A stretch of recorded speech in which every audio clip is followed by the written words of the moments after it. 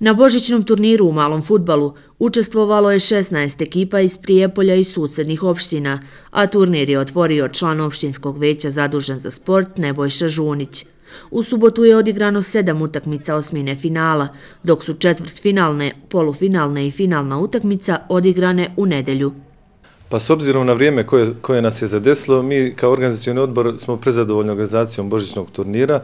Znači, Božićni turnir je počeo, počeo ovaj, subota i nedelja, odnosno odigrao se u subotu i nedelju. Četvrfinalni i polfinalni utakmice, one su protekli u najboljem redu, obzirom da smo imali tehnički problema nestanak struje, tako da na kraju sve kad saberemo, cijel utisak je bio fenomenalan.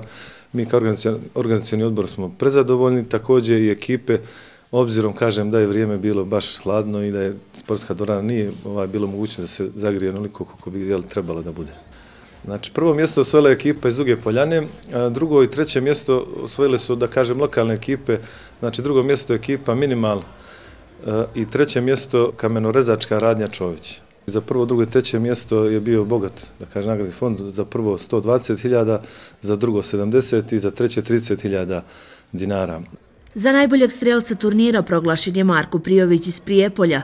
Najbolji golman bio je Mirza Hot, a titulu najboljeg igrača turnira poneo je Veroljub Vukadinović, obojica iz Duge Poljane. Organizator Božićnog turnira u malom futbalu je i ove godine bio Sportski savez, a pod pokroviteljstvom opštine Prijepolje.